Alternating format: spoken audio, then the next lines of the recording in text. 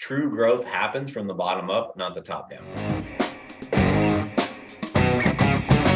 Hi, guys. Welcome back to All or Nothing in Real Estate. Um, I'm your host, Matt Smith, founder of All or Nothing in Real Estate. Today, I am joined by the lovely Leah King. Leah, thank you so much for being here. Thank you. Thanks for having me.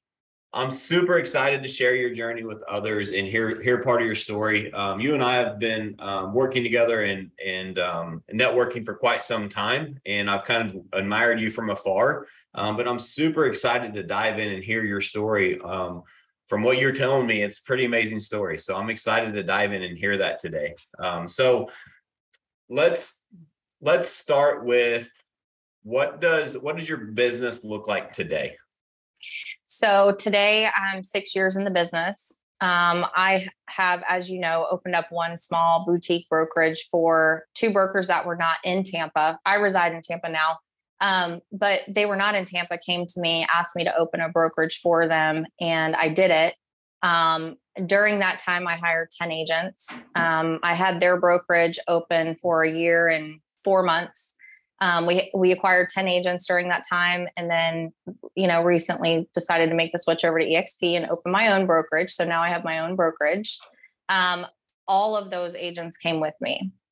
Um, we now have since then had a couple that decided to do other things um, not real estate related. And so we're holding strong with seven agents right now. We have two agents that are getting licensed currently. Um, so we'll soon be you know back up to that nine number, but um, yeah, yeah, so that's what it looks like right now. I love it. So yeah, you recently transitioned over EXP, partnering with us, and um, I'm super blessed to have you in our network. Um, you're super great fit for our culture and the culture of contribution and, and helping others, which is one of the reasons that we were able to have this interview today. Is I truly feel like contribution is the key in our industry and being able to contribute and share your story with others um, will hopefully hopefully motivate inspire and help some others go through your journey. So um, i'm i put a title here from agent to ceo um, and so that's a that's i know that's a kind of a, a clickbait title but that's really what you've done. Um, is yeah. you started out as a as a single agent with a, a lot of work ethic and worked your way through and and so much so that you were kind of mentoring other agents very early on then you opened your uh, brokerage for somebody else and then now you opened your own. Um, so i'm really excited to unpack that and break that down um, today. So let's let's back let's back up. Let's start at the very very beginning. Let's start at the leah king story. Yeah. So i start i actually went to college to be a nurse. So I've always been um, in this mode of of helping others and had that mindset. Um, went to college for a couple years, got my bachelor's degree in nursing, worked in the medical field for six years, and then um, my family. I, in the meantime, I had three kids, one stepchild, so four total. Um, got married and moved to Texas in the middle of getting my master's degree in nursing. I was studying holistic medicine. Um, I had one semester left, but we had this opportunity come up in Texas, and we just couldn't. I, as I thought about it, I was like, it's stupid to not take this opportunity. So stopped my nursing career, um, getting my master's degree, and decided that we would move our family to Texas. Um, and that's how real estate happened for me. Because when I got to Texas, I was looking into getting back in the in the medical field and finishing my master's degree, and um, I ended up running into a broker in this small town of Tyler, Texas, where we moved. Um, and he said, Have you ever thought about getting a real estate license? And I was like, Well, no, not really. I mean, my whole life has been about medicine, um, even from high school. Um, so I thought about it, thought about it, thought about it. And I was like, Well, let me just come into your office and be an assistant and see what it looks like. Um, so went into his office as an ISA, actually. And I found out very quickly that I sucked as an ISA. So I thought, how in the world is this going to be a good fit for me when I can't even schedule appointments for other people? But man, I got my real estate license and um, they had all hit their goals that year. And so my broker, the minute I became licensed, he took everybody on a cruise because they all hit their goals. And so just imagine you're in the office with just the front desk girl who does not have her license. So she doesn't know how to work the MLS. She doesn't know how to work the database. She doesn't know how to work Zillow. Um, and I was getting calls off the chain because we were just lead heavy. I was the only agent in the office. And my broker came back and I had all these appointments on the board. I mean, I was so busy. I was running around like my hair was on fire. And he's like, What did you do? And I'm like, I don't know. I was just taking calls. I couldn't even figure out how to use the MLS. I literally was looking at information off of Zillow and realtor.com because I could not figure out how to get into the MLS. And they were all on this cruise for a week. It was a seven day cruise. so it was crazy. Um, but I got a lot of appointments and he came back and I wrote my very first contract. Um, he told me whenever I first, he was the greatest mentor ever. I just love him to pieces. But um, he died last year of cancer. But when he before he left for the cruise, he said, "You'll, you know, you shouldn't do owner financing. You probably never will. Um, we don't really sell properties under 150,000 because you know it, it'll be more work than what it's cut out for. But you do you, whatever you want to do." And um, what was oh commercial? He said we we focus on residential here, so you probably won't ever do commercial. Well, the very first contract I wrote was a church, a small church, uh, owner financing, and it was seventy two thousand dollars. And he came back from the cruise, and the people were in the office, and I was I had written a contract. Everybody signed. We were just going over some things. I had no idea what I was doing. and he, I took the contract to him to look over it, and he goes, "That looks great now go back in there and write it on a commercial contract because I had written it on a residential contract. So crazy. That's hilarious. That's that's crazy. So I've never heard that part of your story, and maybe you've never heard this part of mine. But my training when I started was somewhat similar, minus the craziness with leads and things. Um, I, my very first day, I got my license. I went in. I handed it to my broker at the time and said, "Well, here's my license. What do I do?" He's like, "Uh, well, here's a contract. Read it. I'm going on vacation. I'll be back in a week."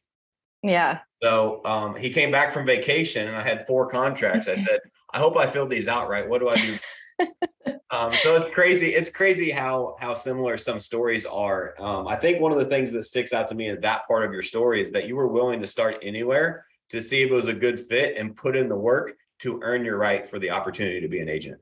Um, I mm-hmm. think there's a lot of people out there that in, have the entitled mindset or um, aren't willing to put in the work and you have to start somewhere and if you put in the work people notice it and you can escalate and scale your business um, and your success very quickly like you have.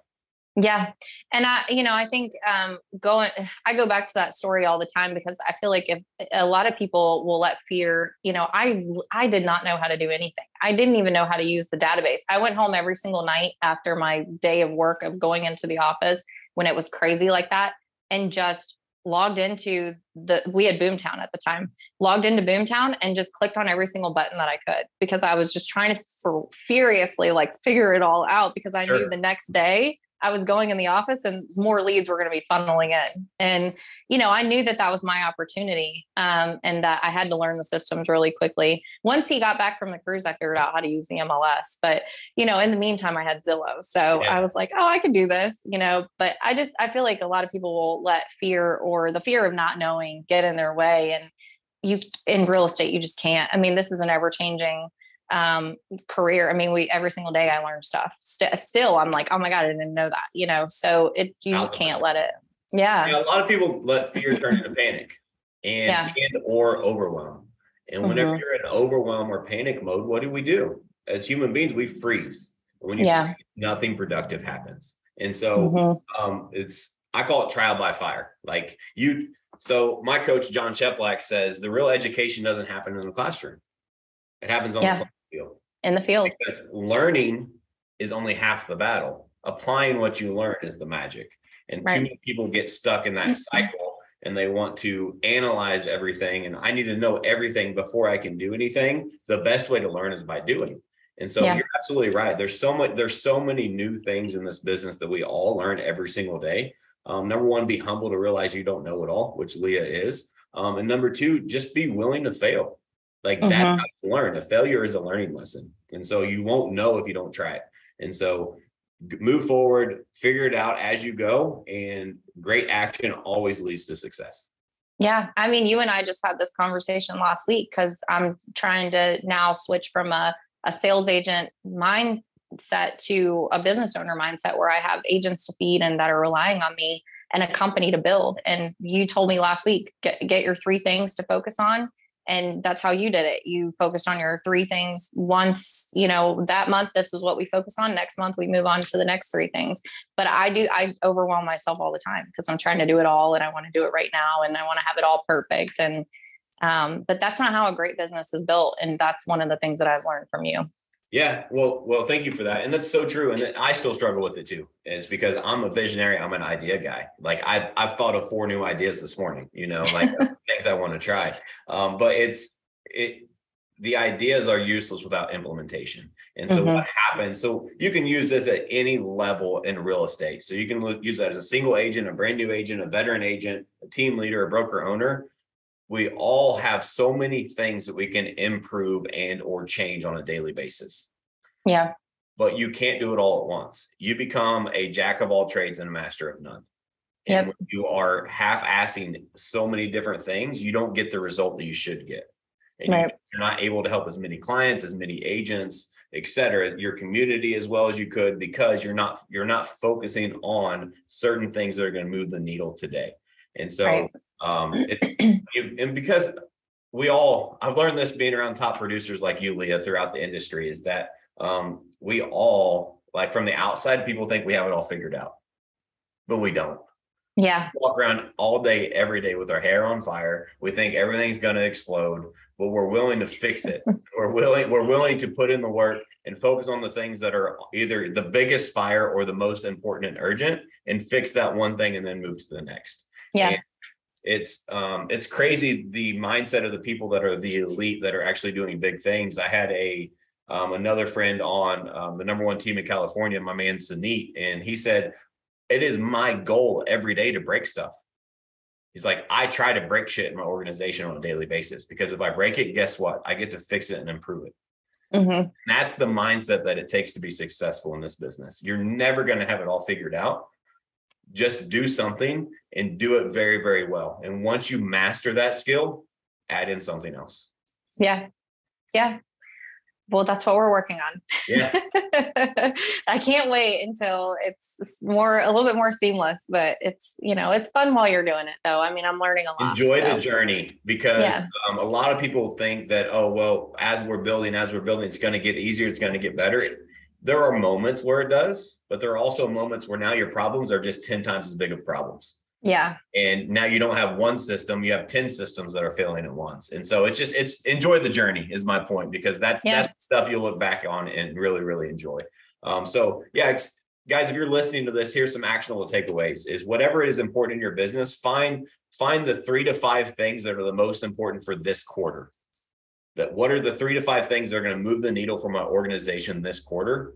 Make sure they're specific and actionable and focus on those. Anything else can wait till the next quarter. You still have to do your day-to-day stuff don't get me wrong but if it's a project something new a new crm a new technology whatever it may be find three to five that are the most important and master those and then next quarter you can add in more. Yeah it definitely helps. yeah let's get let's get back to your journey. So okay. um you have you now have a um, your own team in Tampa. Um, actually, I want to go back. Let's go back even further. So let's go back to your very first year in, in real estate. How many um, did you start off very successful in the business? What does that look like? Um, I mean, yeah, because I think because of the situation that I was in in the very beginning. Well, I told you I started as an ISA. I really sucked as as an ISA. I really did. I didn't do good scheduling appointments for other people.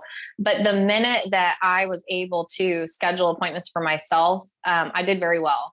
Um, sold 40 transactions my very first year. Um, I, my first month selling real estate was February. So, as you know, from February till about March, I didn't sell anything because sure. it takes about 30 days to get the you know the ball rolling. So um, basically in your first three quarters in real estate you sold 40 homes. Yes. That's amazing.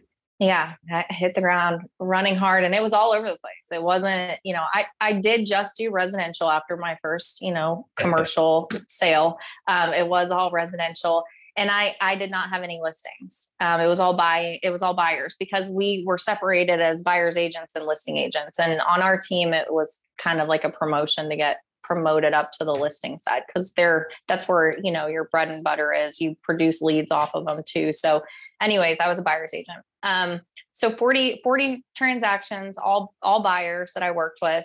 Um, and my first three months when my broker came back, you know, he realized, I think, really quick that um, I was going to get burned out. And he came to me and he said, We need to get you a showing assistant because you are going to burn yourself out. And I was so against it. I didn't want to spend a dollar paying somebody else to, you know, go out there, show homes, cross, whatever.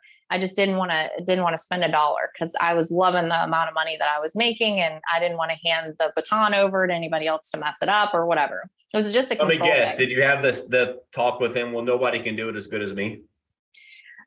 I, you know, I don't remember exactly what the conversation looked like. I think it was more of I don't want to let that go out of my paycheck. I wanted, but I did at the time I didn't realize, you know, that this is probably why I sold 40 homes my first year because once I about a month after I started feeling that burnout. And I was like, okay, yeah, maybe he's right. Like I'm I'm spinning the wheel. I had kids at home that were also involved in sports and I wanted to free up some more of my time in the evening and on the weekends cuz I was I think at that time, you know, my husband was like, you you know, we're going to have issues because I was working every weekend. Um, and, but the kids were somehow all still getting fed and making it to where they were supposed to go. But I can tell you that there were a lot of times I was cooking dinner in the kitchen and I was writing contracts or looking up properties or, you know, it just was, it was a mess. So about a month after he had that conversation with me, we hired a full time showing assistant for our company. Um, I, worked at, at Remax at the time, but that showing assistant, um, I ended up splitting it with another agent. And honestly, it created some healthy competition too with both of us. We both of us had great years that year. And I think because we were like, who can keep Skylar the busiest longer, you know, and and I would try to to book him before, you know, my my uh, one of my agent partner, his name was James, but I would try to book him before he could get Skylar on Saturday, right? But you can't book him unless you actually have showing. So we'd be on the phone like, who can we call to get showings scheduled so I can tie Skylar up for Saturday? But um, so we did that. We split him for a couple of months until about two, three months later, I just I needed Skylar full time and James didn't want to, he didn't want to do full time with him. So I ended up hiring, I sat down with Skylar, my broker, and ended up hiring him full time. And he he was mine for, you know, a year, year and a half. And today Skylar is selling between 40 and 50 homes a year. He just became an independent agent like last year. Um, not I'm sorry, year before last. But he's killing it. He's a good kid, he's doing really good. But anyway, so I I um, started working with Skylar part time and um, it freed up some of my time. And then I had started training some of the newer agents that came in our office. So I'm about five, six months in helping other agents do what I've been doing in the last, you know, six months. Um, and we also that year um, started an ISA program um, where at that time we had hired about four ISAs. And remember, I sucked in the beginning. but I figured it out real quick once I could schedule them for myself. And so I started training our ISA department, um, scheduling appointments and stuff. It was a lot easier after I learned how to actually schedule appointments. Sure. but yeah, I, I want to break. I want to break that down. So I asked you that question on um, on your showing assistant because I run into a lot of people. So on, my, on both on my personal team and other people I coach and other people I talk to in our network and stuff is um, leverage is so so important in this business. And Yeah. so, I mean, as an example, if you're on a team model, your team model creates leverage for everybody on the team. Like you have specialists in each field, right? It's that's so um it's it's very, very difficult to get into agents' heads sometimes to let them understand the importance. If they are a busy agent, the leverage that you create by having that showing assistant, showing partner, it is huge and it allows you to focus on other things that are higher, higher dollar producing activities to you, or maybe things that you are you are better at. And so there's two reasons that I see people struggle with that. And number one, you you hit on, which was the financial part, because it is an investment, right?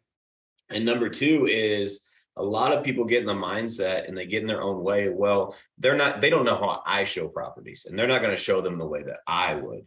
Um, and so just get out of your own way because that investment and that leverage and that training that you can do with that individual will absolutely set you free and help you take your next step in your business, whatever that looks like for you. And so it may not be a showing partner for whoever's listening to this, but there's so many different aspects, whether it's a virtual assistant, whether it's an ISA department, whether it's marketing help. There are so many leverage tools that you can create in this business that will absolutely help you free up your time because your time is your most precious asset. You ask any top producer in the industry, what is more important, time or money? Without hesitation, all of them want more time. Yeah. Right? Because we have we have figured out how to create more money. We just don't know how to get our time back. And so listening to these hacks and learning from what Leah went through is she also hit on that is that that created more time for her so she could spend more time with her family. She could go to the sports games. And that was probably that's there's a reason she mentioned that versus the money she gave it because that's what stood out to her because she that was way more important to her than that $500 that transaction or whatever it was that you have to pay that showing partner because you were able to be present with your family. Right. Yeah. I think that's why the following year, you know, I I told you before the call, but I was on track to sell 60 homes that year before I moved to Tampa. Um, and that's the only reason why I was able to do that is because I had Skylar helping me. So Hundred percent. And you also mentioned something else too that I love um, is healthy competition. Mhm. So break us down a little bit about your your story, your journey of healthy competition, what that looked like, and maybe what that looks like today in your organization. Yeah, so we had this bo- this TV on the outside of our um, offices in Tampa. I'm sorry, in Tyler, Texas, and it displayed our goal and it displayed all of our our units and our volume that we were selling. And me and a lot of the agents, but me and James in particular, and I still talk to him today. He has his own team in Tyler, Texas now too. But um, we used to stand outside in that hallway and look at that board, and both of us would just be like this. I mean, just trying to figure out because we were just neck and neck, all you know, and and I'd be like, I, I, you know, I'd be one under him or he'd be one under me, and we'd be like, dang it, you know, because we would compete every single month. And um, but it was it was like that for a lot of us. And and now we don't have that so much at this time, but we are working towards that.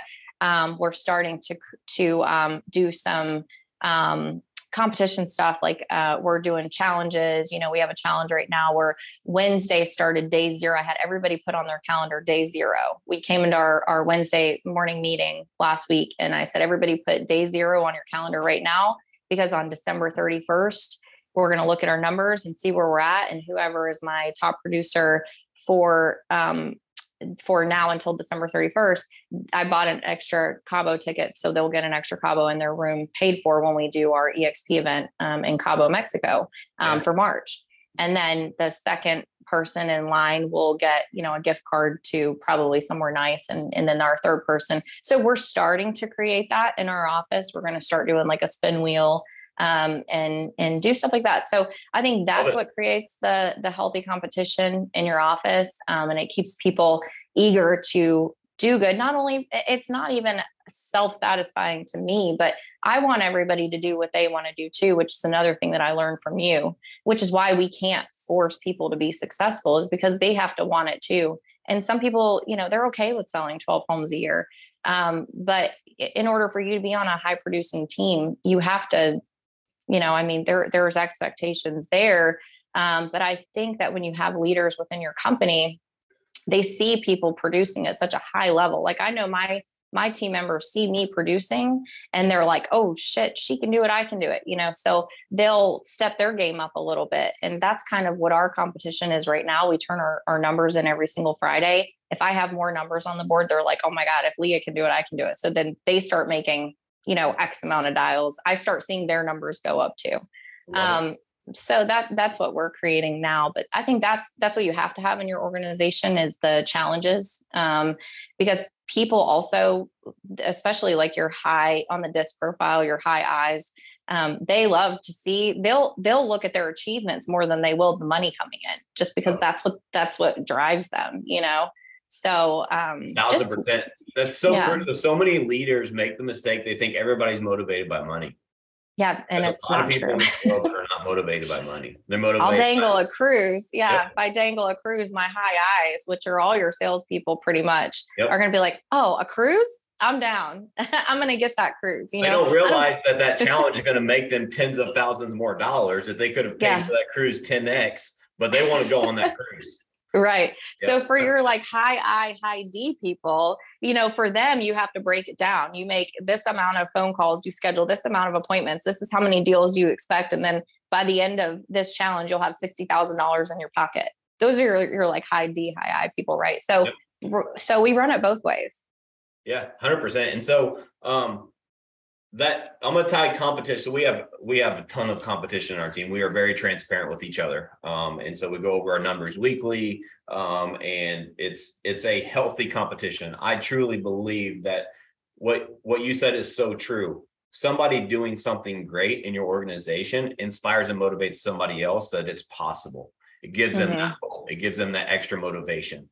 Um, and so there are some people that are that say they're not competitive and they're just they're motivated by different things right? Ultimately you have to part of being a leader is adjusting to who you're talking to and making sure you're you're having the right conversations. Like you said different personality types are motivated by different things. But one of the things that i want to break down is healthy competition. We can tie that in with focus.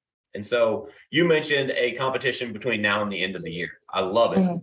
you can do quarterly competitions, you can do monthly competitions, weekly competitions, daily competitions. Now, of course, you're not going to give away a cruise or or a Cabo ticket every day. But Right. what if, what if, so let's go back to the focus. We we want to, as real estate agents, we want to sell more houses. But when's the last time you actually dove into your business and figured out where the biggest hole is that you can fill that will lead to selling more houses? Whether it's more action you take, whether it's a right now ours is we're focusing on appointments met. That's a gap that we realize is that we are setting a lot of appointments, but our met ratio is not where it needs to be. And so if we meet with more people face to face, we're going to ultimately be able to help more people get more closings. So we are doing a competition this month around appointments met, and I'm giving away EXPCon ticket to the winner of that. Whoever meets the most people is coming to EXPCon with me. Right. So um, you can do that on a larger scale, like Leah and I just mentioned, or you can do that on the daily scale. We have a call night tonight, as an example. We're going to run a competition every hour on the most dials, most hangups, most conversations, whatever it is to make it fun. And then they get to spin the wheel.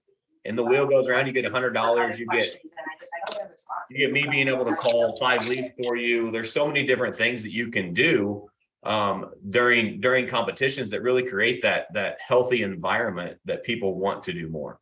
And it's so so crucial that you tie that competition into what's important to your focus right now. Yeah, no, I agree with that. And um, I think that you have that's one thing we were missing in, in our brokerage is we weren't really doing that. And our numbers were they were telling it. Now that we've created this, people are prospecting and and I think it helps people right now, especially pull them out of the the crazy COVID market that we just had and, and it puts that work ethic or at least guides them to um, do the things that is necessary for them to be able to still produce at the level that they were through crazy COVID. Well, how many agents in this world don't know what they need to do to be successful? Nobody's Yeah. broken down the numbers for them. Yeah. So that's the responsibility of the leader to do that, to give them that path. The path is in the math, right? It's all math if you break it down. Um, Yeah. Of course, there's strategies. There's there's a lot of nuances to that, but ultimately, we have our business running, and I know you're on the path to doing that. Is I know how many dials it takes to make you have a conversation. I know how many Right. conversations it takes to equal a closing, right? Like what is in everywhere in between. And if you can have that data and that information, you can actually coach and help your agents reach their goals. Because a lot of people do it real estate on accident. We do real estate on purpose. Right. We act with intent so that we can reach our goals and our commitments so that we can help as many people as we can. And Yeah. you track this stuff and you create competitions and fun around it with cool prizes and um, keep people energized. It makes a huge, huge difference. Yep. 100% agree. Let's get let's get back to your story. So Okay. you've been in the business for how long now? Six years? Six years. Mhm. So you were in Tyler, Texas. You were on pace for um, 60 units your second year, and then you decided to move. Um, so I went through some life stuff because that's what life does, throws Life balls at us. Yep. So did that. And uh, I moved to Tampa, Florida, started with another company that was designed just like the one that I worked at in um, Tyler, Texas. And um, I just quickly figured out that I felt like I could just do it on my own. Um, I, I, uh, not to go into it too much, but it just wasn't a good fit for me. Sure. Um, so I ended up going to another company um, here where I was an independent agent, and I didn't know anybody in Tampa. Didn't I, my parents are three and a half hours away on the on the east coast of Florida. I'm on the west coast. Um, you know, I have babies. I be, began living life as a single mom. I didn't know babysitters. I still had to Google getting to Walmart um, from my front door. So. I didn't know how to get anywhere or do anything, but still managed to sell 30 homes um, my first year in the business in Tampa. Um, and then, you know, my second year, I was opening a brokerage for two brokers in Columbus, Ohio. Let's slow was, down a little bit. You yeah, said a lot. So I'm gonna I'm gonna recap this for the listeners here. Her very first year in real estate, she started in February. She sold 40 houses. On her second year, she was on pace to do 60. She moves to a completely new area. She knows nobody, doesn't even know where Walmart is, and sells 30 homes her first year in a brand new area. Leah, that's that's tremendous story. I ask all my coaching clients this. I've never asked you this, so I'm anxious yeah. to myself. What do you? I I'm a firm believer that everybody has a superpower. Yeah. What do you feel like your superpower is that has helped you accomplish all of that? So i'm really big on on building um, relationships um, and that's one thing that i can say that if you're not working on building relationships in this business you're missing out big time. That's the one thing that really helped me with with my business and i 100% believe that had i not had the relationships or started building those very early early on my business would not have taken off the way that it has in Tampa Florida. Because when I started at that other brokerage that was not a good fit for me, um, I met one person, and that one person um, was just getting into the business of um, mortgage. Um, and we both kind of leaned on each other for, and that's weird to say because you don't want to necessarily work with somebody brand new in the business, and I'm brand new in the business, but sure. it, it it jived for us. Um, and I'm actually this office that I'm in right now is with that partner that I met years ago.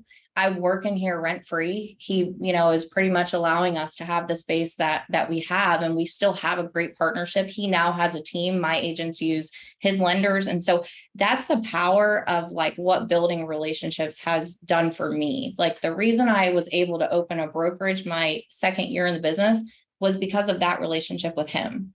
So there's just been doors that have just continued to be open. So what happened is I met him and I went on my own and he said, Hey, let's start buying leads together.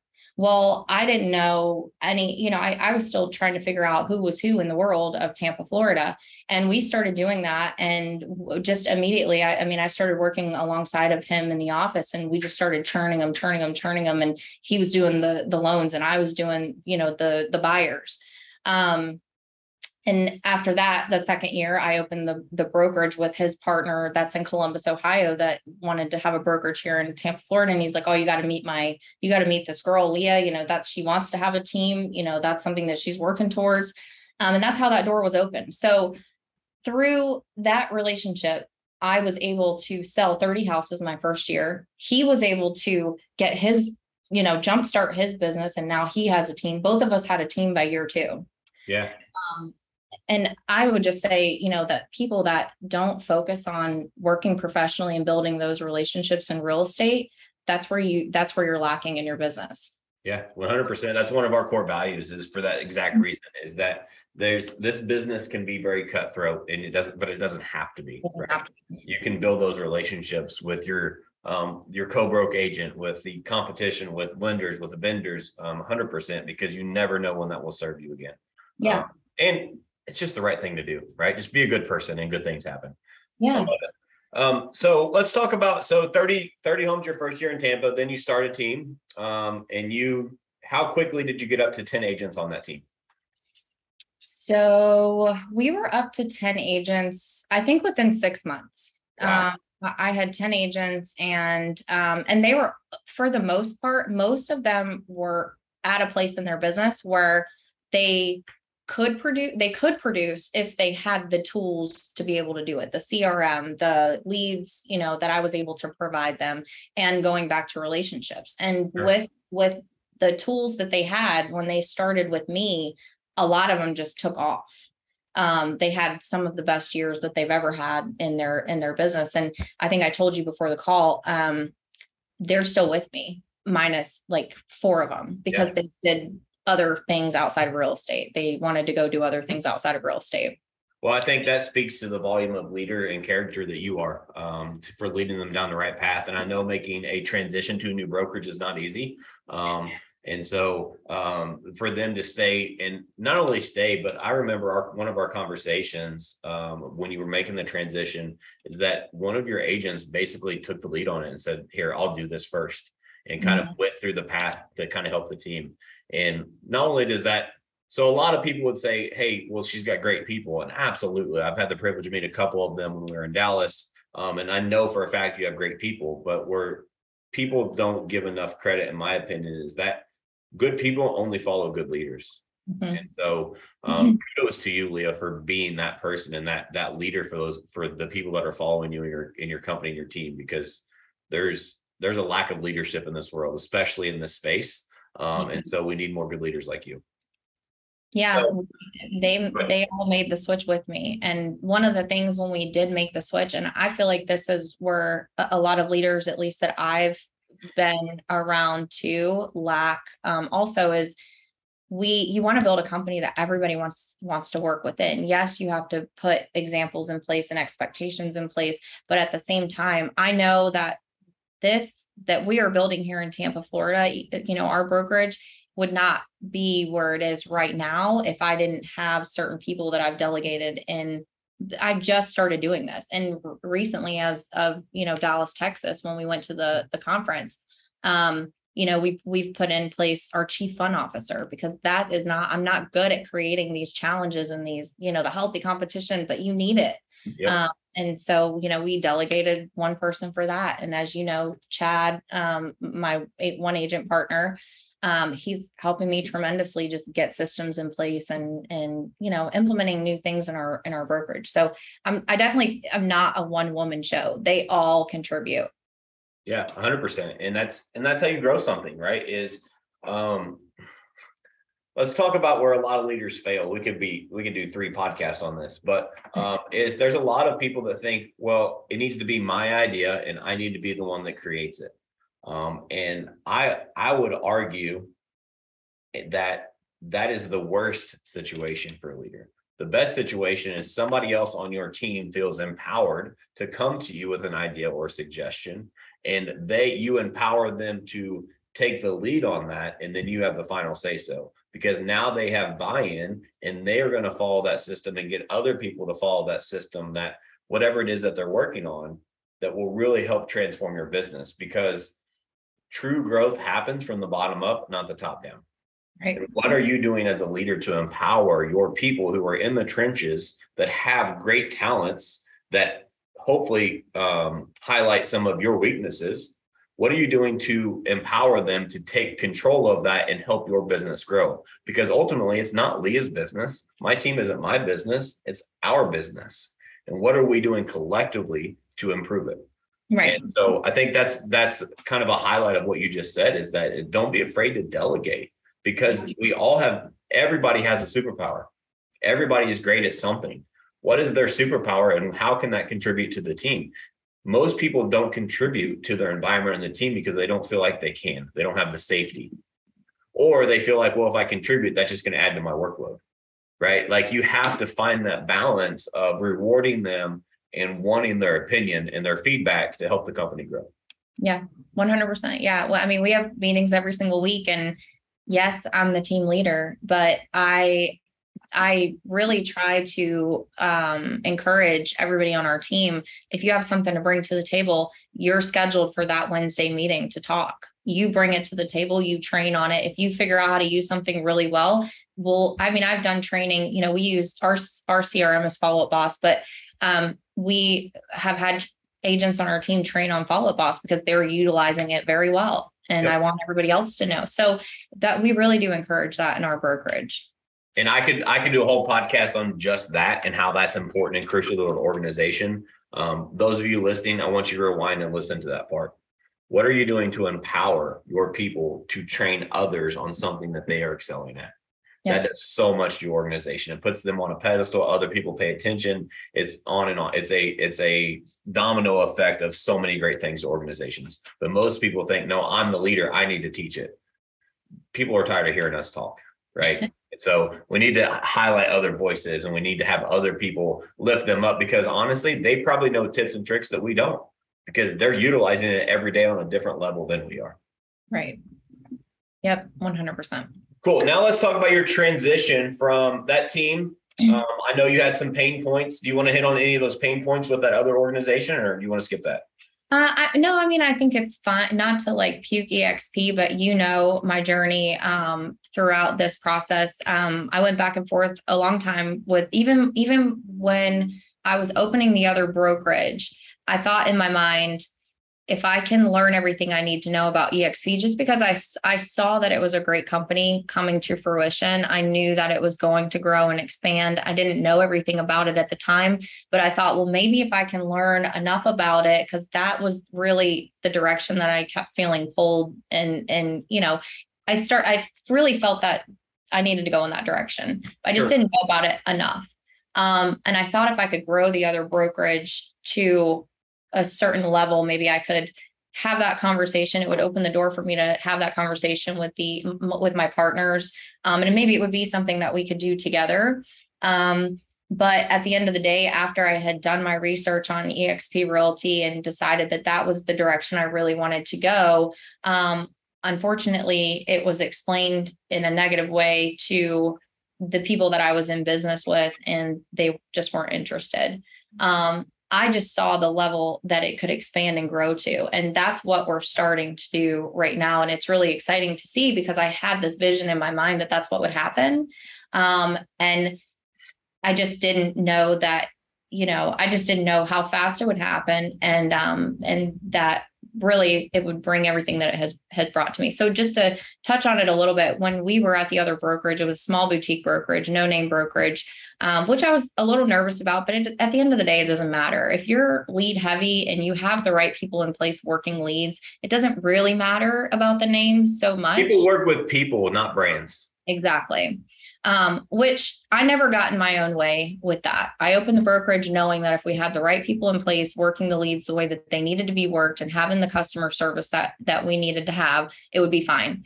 Um, so I never focused on that too much. Um, and then the one thing I will say that we did not have that we do now is the support. Like EXP has an amazing support system um, through the people that are involved in the organization, but also in the, you know, behind the scenes. Yep. Um, anything that we need help with, um, it's there. And that is amazing. I mean, it, if we need extra training, it's all there. If we need people for whatever, whatever it is, all we have to do is ask for it. And I get an email or a text message or a call same day. And I know exactly where to go. I don't feel lost, or I just, I don't feel like I I'm doing it all by myself and I have nowhere to go. Yeah. Um, so I love that. I, lo- I love that about our transition so far. My agents love that about our transition so far. We've, we've, in the very beginning, needed a lot of help. And through EXP's behind the scenes, we were able to get all the help that we needed. And, and, and still, I, I reached out to, you know, the transactions department last week and whatever. So I love having that. Yeah. It's, Um, it's one of the big myths about EXP, right? Is a lot of people say, well, it's a cloud brokerage and they have all this crazy stuff and there's no support. But my experience is just like yours. It's the, it's the exact opposite because how the model is ran, you have more support than you would ever get with any other company. And most importantly, let's break this down for agent terms. Agents, the team model is so popular for a reason because it allows you to be specialist in certain areas that you're good at and have tunnel vision on that. EXP has done that for the behind the scenes of their company, of the of the cloud brokerage, is they have transactions department, they have agent services, they have marketing, they have tech, they have accounting, they have all those that are specialists in that field. So you're not going to one person to try to be the answer to all your questions. You're going to a specialist in that field that can help you with whatever your problem, question, concern may be. Yep. Yep. And I've used a lot of the different departments. um, with great results. Um, so that, but then also one of my biggest fears in real estate, only because I saw it with some of the other companies that I that I worked with um, along the way, and I, I haven't worked with a lot, but through the other companies that I worked with, I realized it. Retention is always a big a big problem. Um, and I love my people and pour into my people so much and want everybody to do good, but I also want to keep them with me, like figure out how to keep them with me because yep. you are pouring into them. And if there is a problem, you know, let's fix it. Don't, don't leave me. You know, I, I love my people. So that was always like a fear of mine is getting people in the door and then they leave me. And I'm like, how do I, how do I keep that from, and luckily it has not happened. And I'm so thankful. Um, but what I started hearing through my leaders that I hired on the no name boutique brokerage is that they also wanted teams. And I thought, oh my God, I'm going to train them and they're going to do great things. And then they're going to leave me to go build their team. Um, and so I, I started thinking, how can we do this together? Um, and EXP solved my problem. So now I have leaders on my team that want to that's that's her dream. They want to have teams too. But now what the conversation that we're having is totally different because they're like, Leah, I don't want to do it without you. And I'm like, well, I want to do it with you. You know, we have a vested interest together now. And now I'm like, okay, well, let's put a plan in place for, you know, maybe we open a brokerage here and that's yours. That's your baby. This is my baby. I have this going over here. I'm going to help you do that. Yep. Um, but I also have somebody that reached out to me. I told you from Orlando, and, and they're working on things right now. Um, and also Sarasota, where I'm still, you know, babying something over in Sarasota, Florida. Both of those markets are huge markets, but they're in two totally different areas, about an hour, hour and a half away. Um, and they've said the same thing. Like, I don't, you know, I want to be able to do it under your mentorship and guidance. And I'm like, great. I have, you know, I have a vested interest in your company. I want you to do good. Yep. Let's do it together.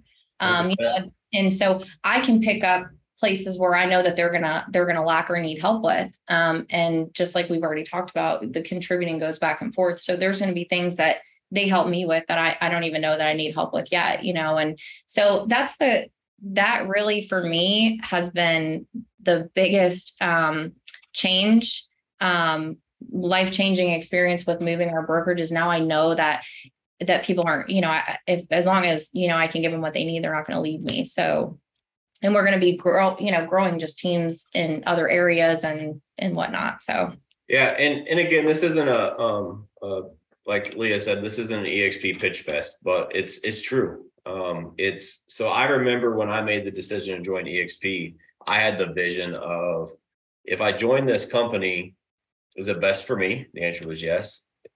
The most important question after that was, is it best for my agents? Yep. Because there was a lot of options I could make work for me. But what about my agents? Not only for the retention aspect, but also my agents are owners in EXP. My owners, my agents have stock that they get for every transaction they close. They get a, they get stock at a discount, right? They get to buy into this great company. Um, when they do something great, the company rewards them with free stock they have the opportunity to have revenue share if they recruit somebody to the team and have which they do all the time. They have their friends want to be in real estate well they join our team and then they get revenue from them. And it just creates that camaraderie and it, exp created something that i couldn't create without it. And it created opportunities for my agents that would not exist if it wasn't for this great company. And so anybody that's maybe thinking about it like again this isn't an exp pitch fest. I just highly recommend that you look into it in depth and think about the bigger picture. There's so much opportunity, not only to sell more houses. I mean, my team's going to sell 850 plus homes this year. Um, and so, like, there's a lot of big producers within EXP that you won't hear about that from the naysayers, right? But there's a lot of big producers that can help you produce, that can help you create your team, that can help you in your transition, that can give you coaching, that can give you marketing help, that can give you whatever support that you need and guidance so that you can reach whatever goals that you want. Because that's the power of us all being in the same company and rowing in the same direction, is that we truly are in this together, helping each other. Um, mm-hmm. Um, and it's it makes a big, big difference. And I've been with other brokerages. It's not like that. Yeah. I mean, it just isn't. So this has been great. Yeah. All right. Awesome. Well, we're almost out of time here. Um, is there anything you want to wrap up your story? Anything you want to close with? I don't think so. I mean, I I would just say that you know anybody that is working in the um, real estate business now that is struggling or needs help with something, just to reach out because there are people like you and I that that will help people. You know, get them in the right direction, get them where where their business is thriving. Um, anything that we can do to help you know i'm i'm here for it so if anybody wants to reach out to me and just ask me questions or or figure out you know how i've done what I've done or corrected things that I wish I would have done differently in the beginning that I'm doing now, just reach out because I'm an open book. I'm always here to answer any questions. I love it. So, um, where would you like for people to reach out to you? You want to share some of your social platforms, or where do you where do you want people to reach out to you at? Yeah, so people can find me on Instagram at leah.king underscore underscore tampa.realtor. Sorry. And then on Facebook, I'm I'm just Leah King. Um, and then I also have the Leah King group as well. So you can reach out there. Awesome. Well, Leah, thank you so much for your time. Thank you for your contributions. Um, it's been a great episode and uh, had a great time. So thanks for having, thanks for being here.